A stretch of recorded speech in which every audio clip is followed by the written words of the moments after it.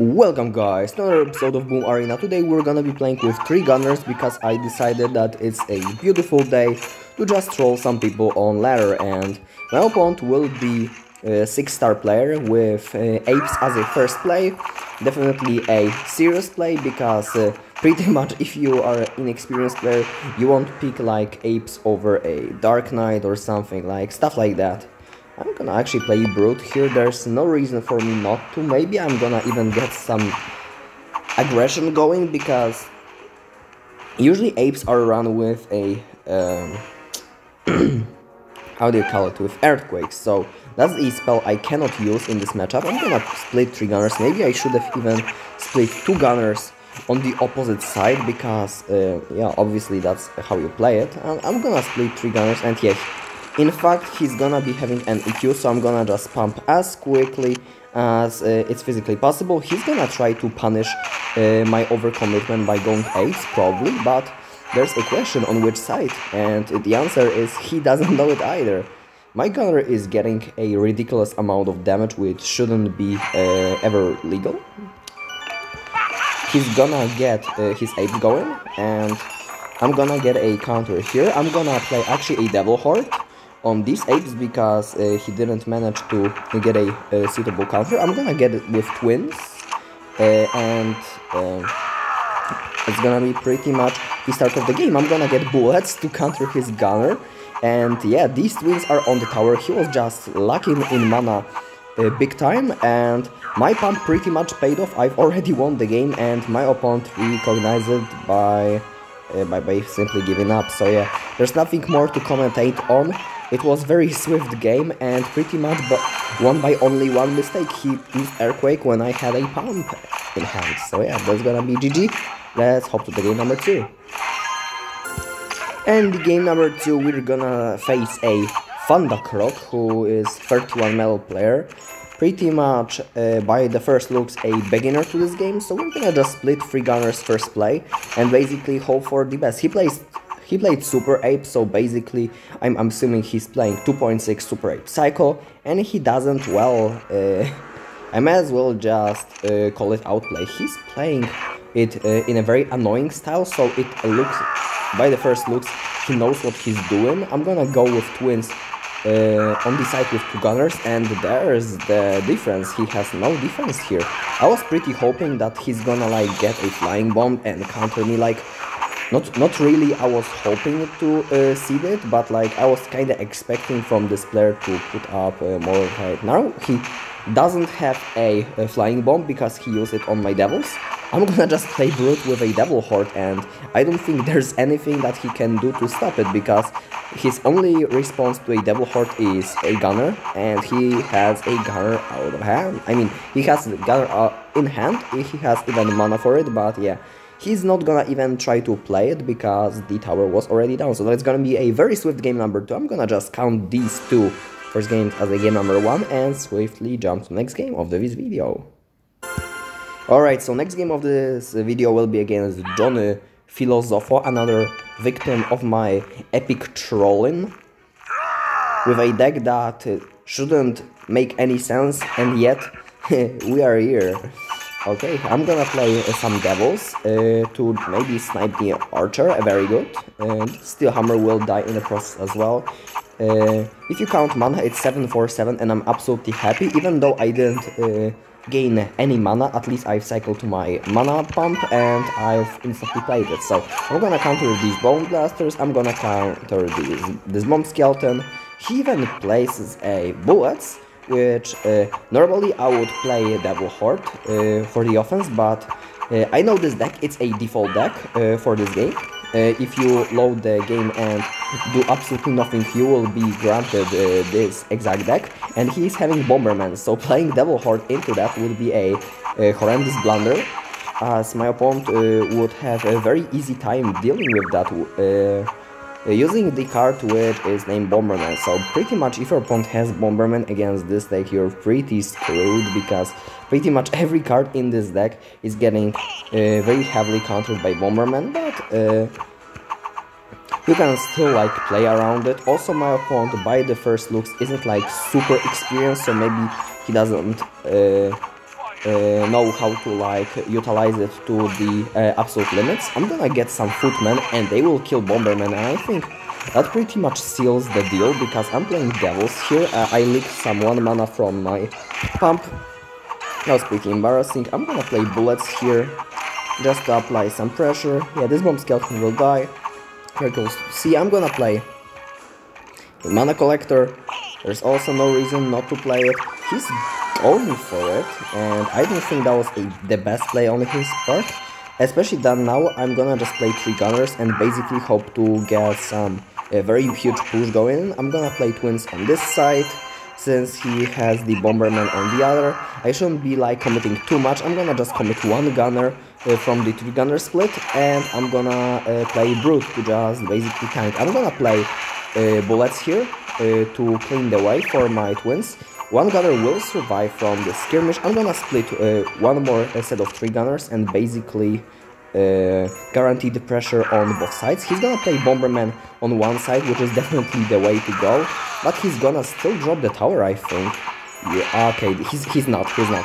I'm gonna have to play bullets to do so, and right now I don't think he has a clear way to just defend that. Maybe he doesn't even want to defend. Yeah, there we go, there's the cam in the corner. A pretty common sign of uh, just resigning the game.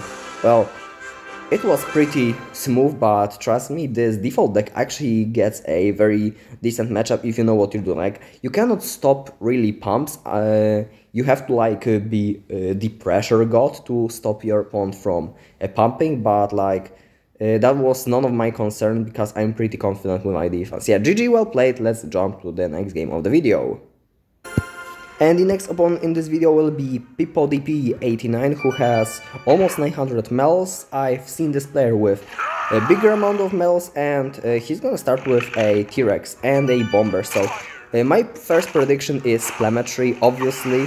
Here comes the cycle, so it's pretty much only sealing further and further. I think I'm gonna, uh, yeah, I'm, I'm, gonna actually split a uh, Phone Horde just to uh, absolutely counter it. Uh, He's gonna get a very cool uh, Footman Keg. I'm gonna play a Mana Collector, because uh, with this deck, like, you don't want to 100% defend everything that's coming for you.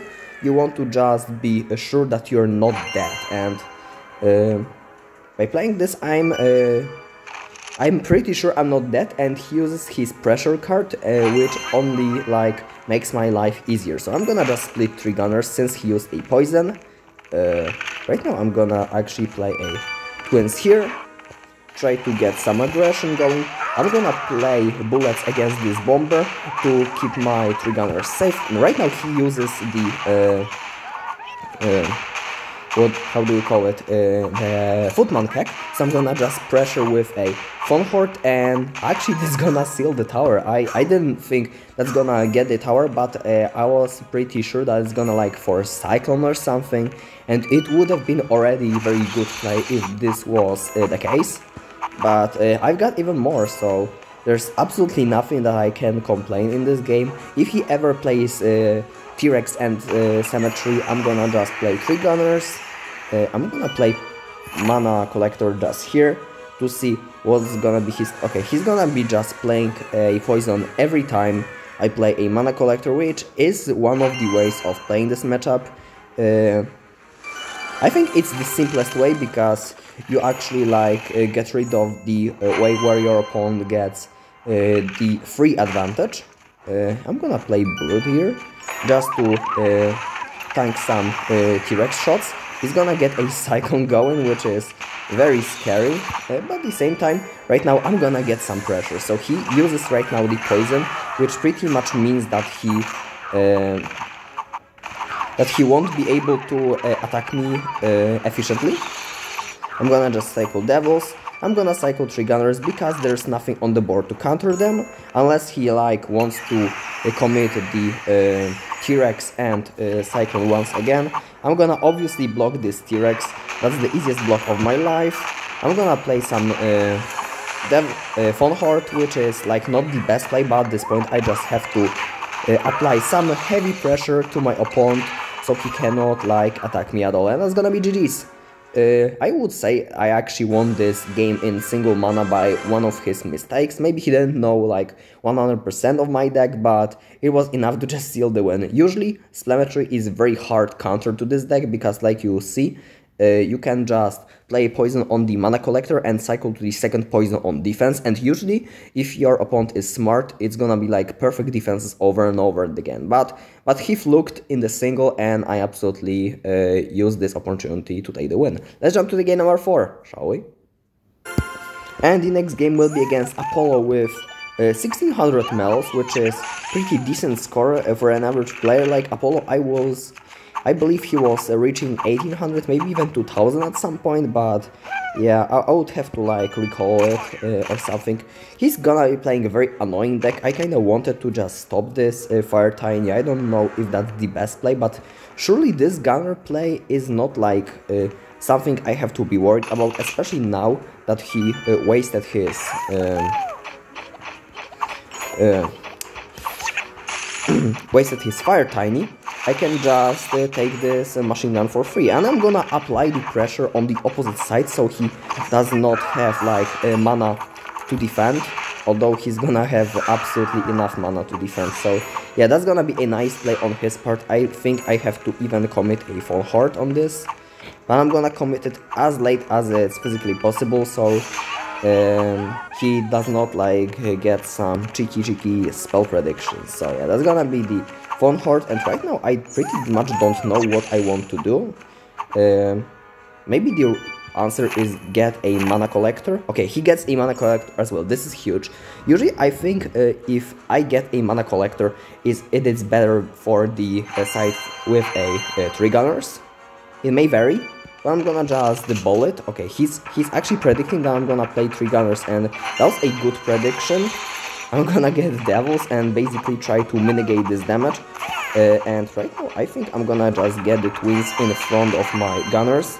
Um, after which I'm gonna just figure out how to proceed uh, further down the line. Uh, he's gonna probably get away with some uh, cheap defenses and yeah, he absolutely gets away with the cheapest defense possible. So I would say the uh, trades in single mana go absolutely to him he uh, once again guesses uh, which uh, card I'm gonna play and was mana collector. I'm go I'm gonna play with Brute, but he uh, was just uh, fast enough.